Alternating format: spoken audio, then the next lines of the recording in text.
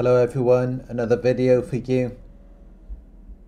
Before I begin, please hit that thumbs up button down below so it will help to get this message out there to other viewers as well.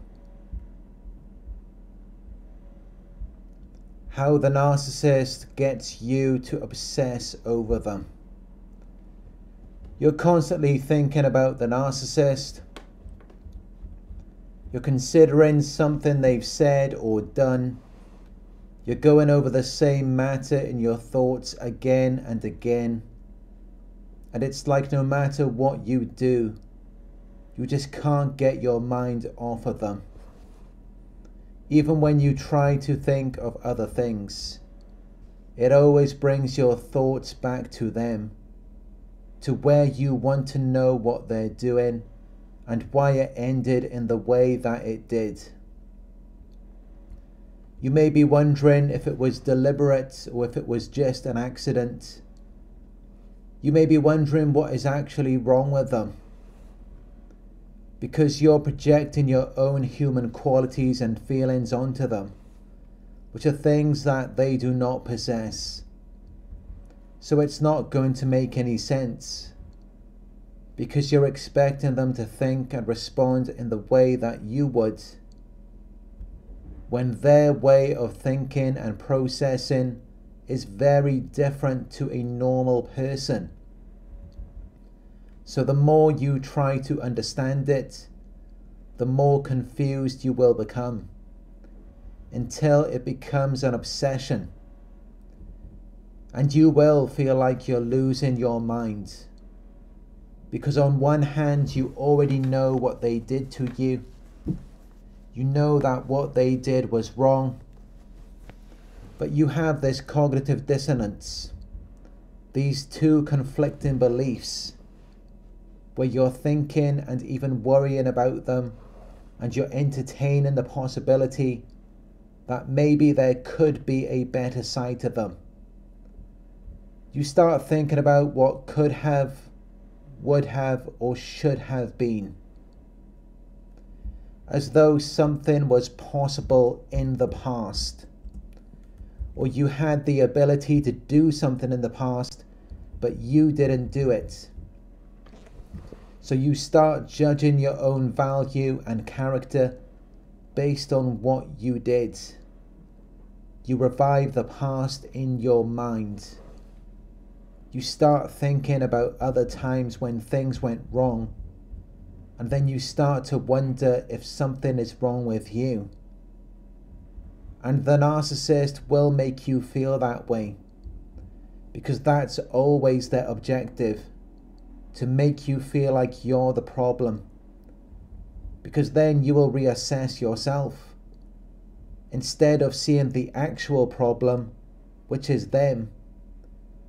Because the person who is the problem is not going to be examining or questioning themselves.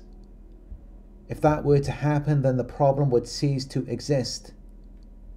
So, how can you be the problem if you are reassessing yourself?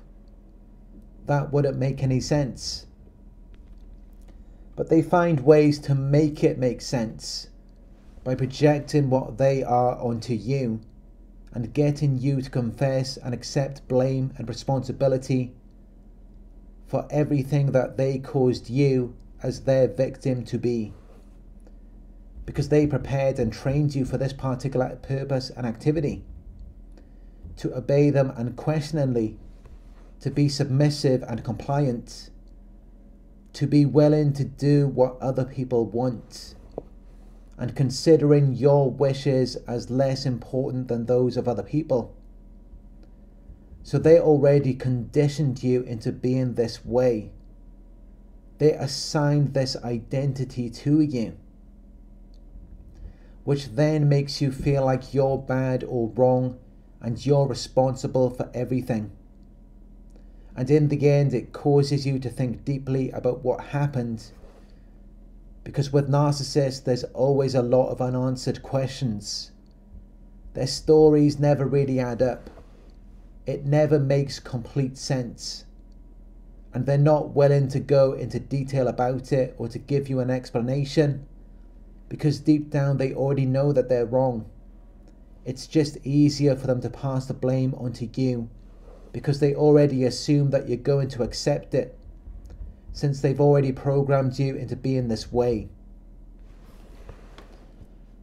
Now, the mistake a lot of you make is when you're treating narcissists like normal human beings and you're trying to rationalize things that they're saying or doing. You're trying to make sense of it. You're trying to explain or justify their behavior or attitude with logical reasons when logic is not relevant or appropriate when you're dealing with narcissists. You can't just treat them like a regular person or from a normal perspective where you're trying to construct or establish something based on who you are or from people that you have interacted with before. You're making a big mistake by doing that. That might work with normal people, but it's not going to work with them because they're anything but normal. So things are going to deviate from what is normal or usual to you because they lack the key components of a human being they lack affective empathy. The sensations and feelings that we get in response to other people's emotions, which normally includes mirroring what that person is feeling, or we might feel stressed when we detect another person's fear or anxiety. But it is not like that for them. Narcissists do not feel what we feel, which is how they can abuse you for years and feel nothing. It's like they don't even care. But if you went around an empathic person, they would immediately sense what you've gone through. They would feel your pain and they would be unable to bear it. You'd probably break down and cry in each other's arms. Or it would be like how we come together on here as a community we care about each other and we support each other. But it's never going to be like that with them.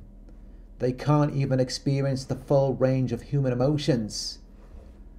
This is why they're always angry or upset, and they're always trying to project these negative feelings onto you because they're primarily operating from their reptilian brain. They're constantly in survival mode.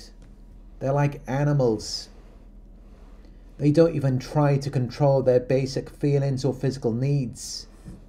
They're savages or barbarians.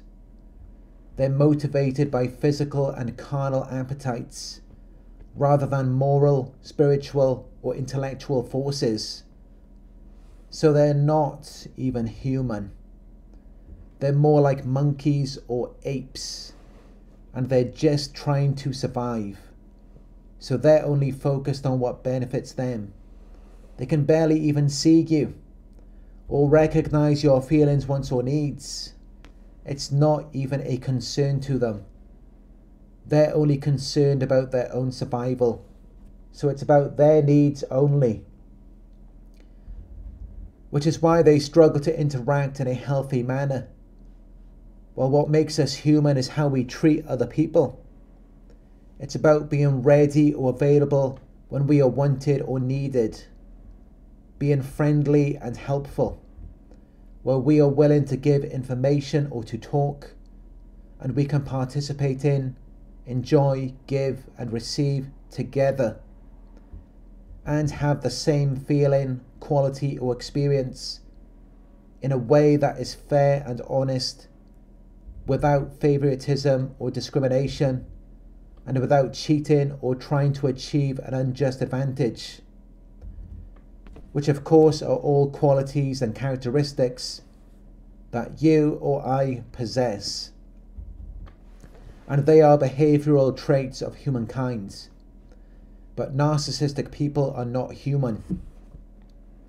And that is why you get so confused and you can't understand why they do certain things because you know that you would never do what they do. But that's just it. you're not the same as them.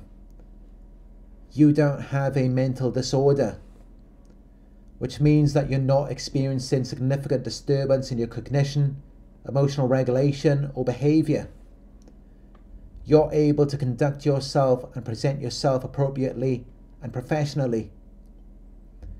You behave well in public or formal situations, so you're in control of yourself but they are not in control of themselves. And that is the difference. They're not operating at the full human level or capacity, which means that there's going to be a lot of things that are missing from your interactions or engagements.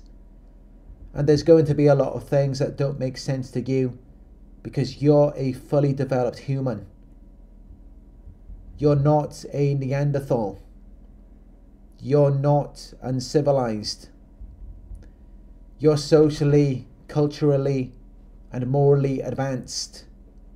While they are lacking sophistication, they're antisocial and immoral. They're rude, savage, wild, primitive, barbaric, and uncultivated. And yet you're trying to figure out why things went a certain way because you can't understand why someone would mess up something good when they could have just continued to progress, succeed, and achieve a particular result. And it's because they're missing the key components of what makes us human. The components that would otherwise keep them following the correct and established course. But they're just not at that level of development.